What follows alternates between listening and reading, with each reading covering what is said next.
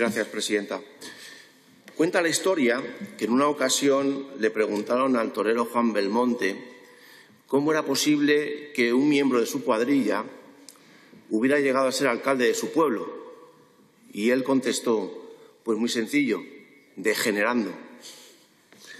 A finales de 2023, en torno a 70.000 expedientes de homologación de títulos extranjeros se encuentran sin resolver. ¿Cómo ha llegado el Gobierno a esta situación? Pues muy sencillo, degenerando. Esta sí es una degeneración realmente grave. Esta sí es una degeneración de verdad.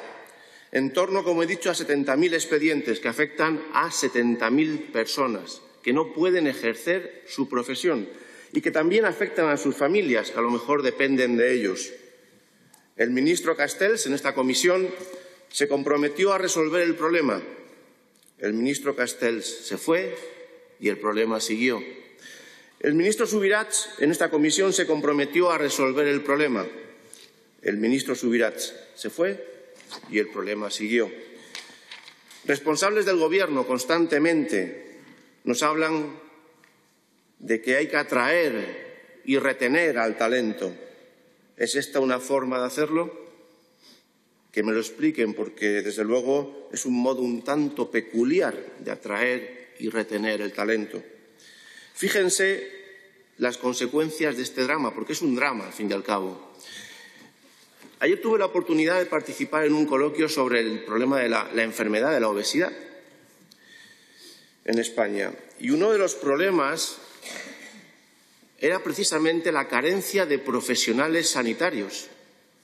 Estamos hablando de un problema que afecta a miles de personas. De hecho, en el 2023, más de 25.000 personas murieron de enfermedades derivadas de la obesidad y, en parte, como consecuencia de esa falta de profesionales sanitarios.